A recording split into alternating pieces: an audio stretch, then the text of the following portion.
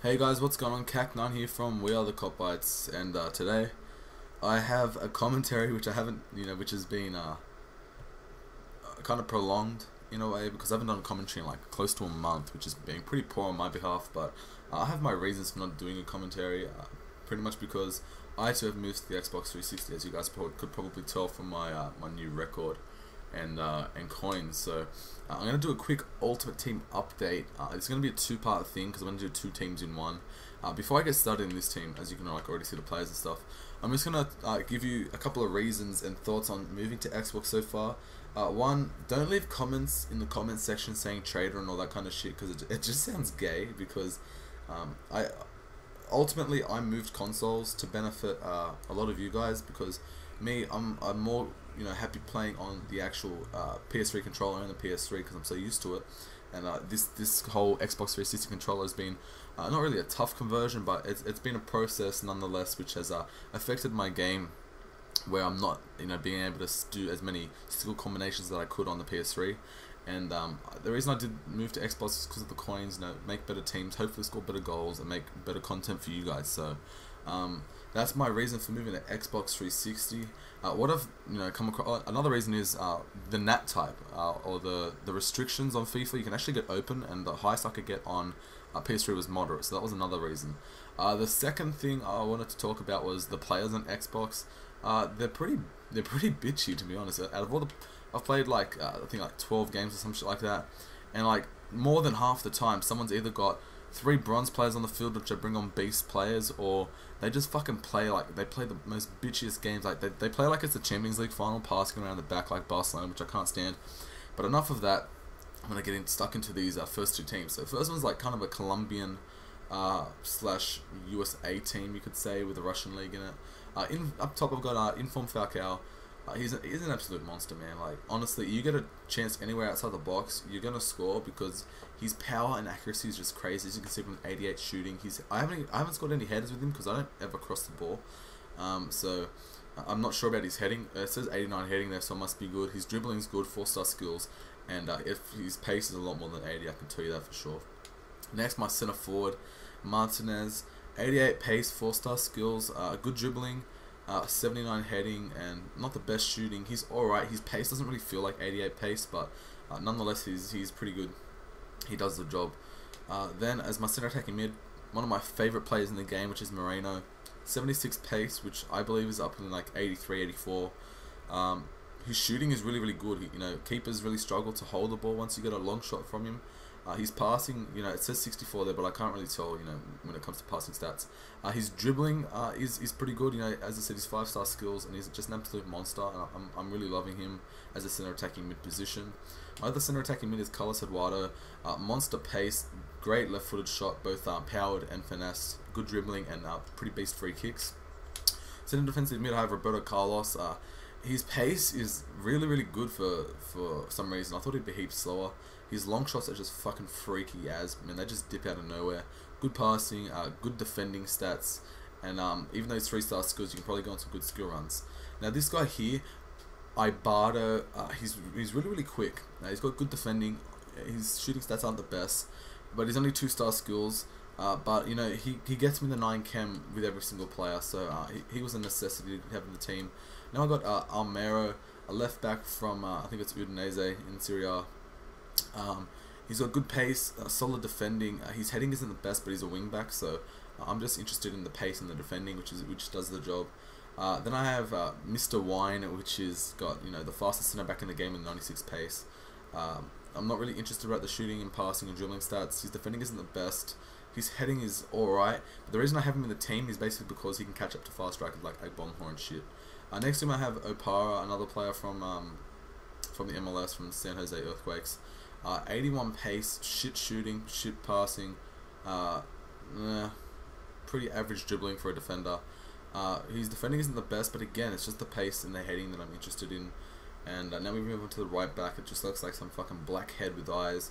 Um, Angbwa. I'm not trying to be racist or anything, but it's true. Like they, maybe they could have got a bit better picture of him or something. They got some pretty fucked up pictures in this game.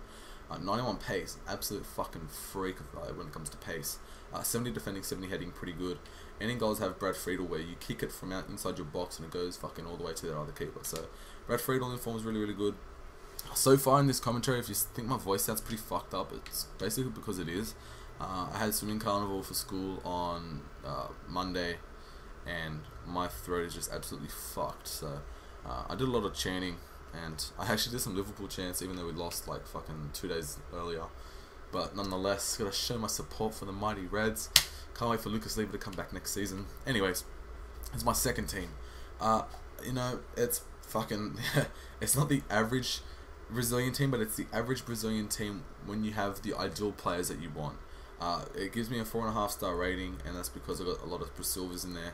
Um, but here we go. I got inform Neymar. Um, I've played a couple of games with him. He's just he's he's very good. I'm surprised how good his shooting is actually. Uh, his pace and dribbling, just the stats you know speak for itself. Uh, Wallison, is like the un most underrated player in this game. I think um, me and Roberto are going to do a, a, a, series where we talk about underrated players. Uh, one of us will do Wallison, of course, because you know he's so cheap, and for the price I can get him, and, and his stats and, and his five star skills, it's just amazing. And then my other striker is Marlos. I have Marlos there because he's five star skills. Uh, he's got a good left foot on him, uh, pretty pacey, good dribbling, and does the job on the uh, right striker. Now Mariah, she he doesn't have the best pace, uh, you know, or defending stats because he actually is, I think he's a center attacking middle striker, but uh, he's really really good, five star skills, decent shooting, decent passing, and um, you know, with with the defenders I have, um, I seem to be able to do the job. Now I got Ronaldinho in the midfield, one of my favorite players in the game, just because the skill runs you can go on with go on with him are amazing. Uh, he's actually got pretty decent strength from from when um someone tries to tackle him. Like if you do a roulette and you get fouled uh, and the referee doesn't give it like they never usually do, uh, he he actually continues on with the ball somehow. So I'm I'm really impressed with him. He's got fucking freaky free kicks. Uh, you can finesse from pretty much anywhere and it'll go in, and he's just an overall beast. Uh, then my other center mid is Carlos Alberto. Uh, again, not the best shoot uh, pace, but his shooting and dribbling is just fucking freaky. So so far, I've already gone through six players and they all have five star skills. And this is my last five star skill in this team, Marcio Azevedo, 89 pace, left footed, uh, decent dribbling, decent defending. Uh, his shooting is actually alright, even though I haven't scored a goal with him ever. But um, he's, he's still pretty good.